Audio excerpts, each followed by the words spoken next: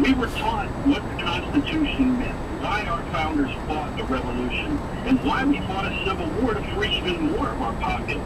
But it seems like we're going retrograde in modern society back to the very place that we were before we had a Constitution, before we had a 13th or 14th Amendment, and pushing people right back into slavery. But if you look at countries like Venezuela or Greece that have had to have upheavals to get their government to listen, it's a long-fought road when you don't have the arms to do it.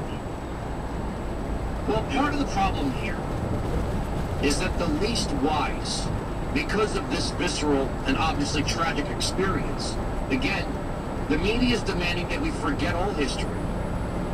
We forget all revolutions. We forget all tyrants. We forget all monsters of history.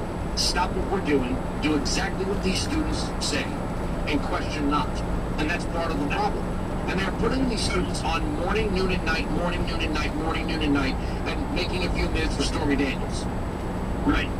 And you know, I, I guess I guess we should ask America, you know, if they have a get out of tyranny free card in their back pocket. I've looked through my Monopoly set and I can't find that card. But I've heard from so many people in the past 30 years making the same argument over and over and over again. I'm blue in the face. I don't want to argue it anymore. It is what it is. If you want to come for the guns, fine. Molon labe, there's the line. You wouldn't accept a foreign invader coming into this country to destroy our rights. Many of us have fought wars to protect our freedoms. We hear that every time we come home in uniform.